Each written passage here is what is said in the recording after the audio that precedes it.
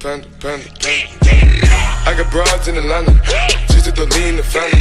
Credit cards in the scammers, hitting the licks in the van.